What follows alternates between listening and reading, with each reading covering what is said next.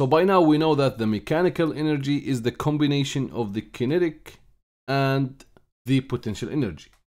Now, how to calculate the mechanical energy? To calculate the mechanical energy of an object, you simply need to find the total of the kinetic energy and all forms of potential energy, which means the E mechanical equals E kinetic and E potential.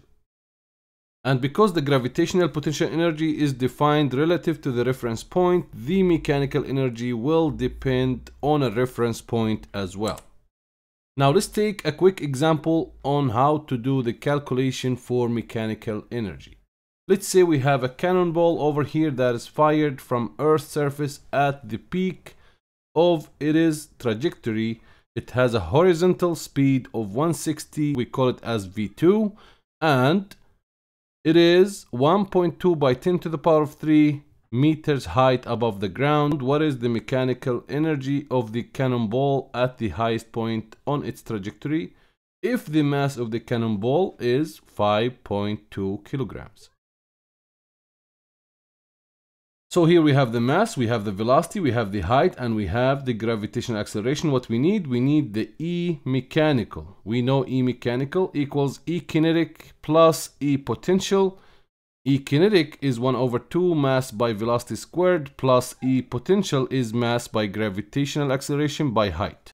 So we have 1 over 2 by 5 by 160 plus 5.2 by 9.8 by 1.2 by 10 to the power 3 would give you 1.28 by 10 to the power 5 joules. Isolated systems versus the non-isolated systems. In energy, it is important to define if the system that you have in front of you is an isolated system or a non-isolated system. To differentiate between isolated system and a non-isolated system, imagine there is two people in the room. Each person have a certain amount of money and let's assume the door is locked over here. There's no way to escape outside the room. Let's say this person have $20 and this person have $10. Now the room is a system in this case since there is no way out so the system is closed. Now if I tell you how much money is in the room, I would search all over the room, ask these people, they will say I have 20 and this guy have 10. So I would say the system, in this case the closed system is the room and these people having $30 in the room. So the system have $30. There's no tendency that those $30 will be more because nobody from from a window or a door will give them that money. And they will not of course create money from nowhere. And this money as well cannot be lost. If you search in the room you will find the $30 that the system have.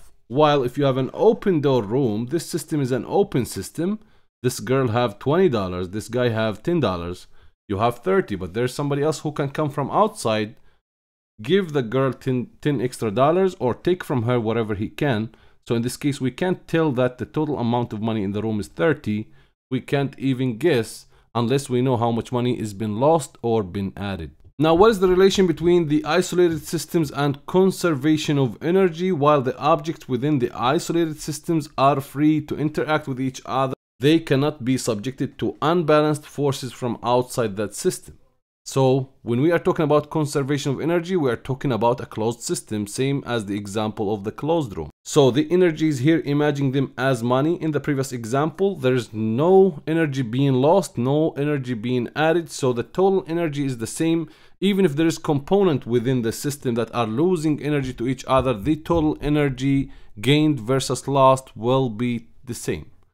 For mechanical energy, no force from the outside of the system may work to transfer energy to or from any object inside the system. The quantity of energy in the system must be constant. But we need to keep in mind that closed system means it's a frictionless system because friction is a loss of energy. But uh, we consider the friction force as an outsider energy and friction force known that to let the energy escape through heat same as the brakes in your car.